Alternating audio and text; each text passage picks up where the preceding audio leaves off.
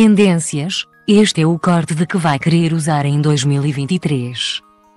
No passado domingo, dia 18, a atriz Zendaya dominou a passadeira vermelha de um evento em Los Angeles ao aparecer com o seu novo corte de cabelo.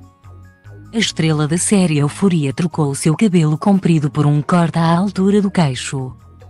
Com o nome de Chupibab este estilo é uma mistura do clássico Chanel e o bad comprido que já domina os estilos de cabelo há vários anos.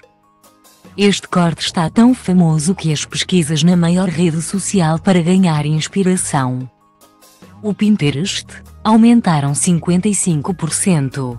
Os maiores motivos? Este estilo, para além de ficar bem em várias pessoas, é um corte que fica muito bem quando é usado ao natural. O Shupibab adapta-se a todos os tipos de rostos para rostos mais redondos ou quadrados. É melhor usar o volume no topo da cabeça, por isso, opte por uma franja lateral ou uma franja em cortina para acompanhar este corte. Para quem tem o rosto mais alongado e oval, mais volume nos lados ou completamente direito funcionará melhor.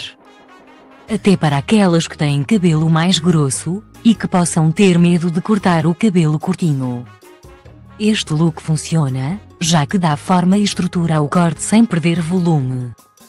Veja inspirações do corte abaixo para poder conquistar todos à mesa de Natal já com este novo corte tendência.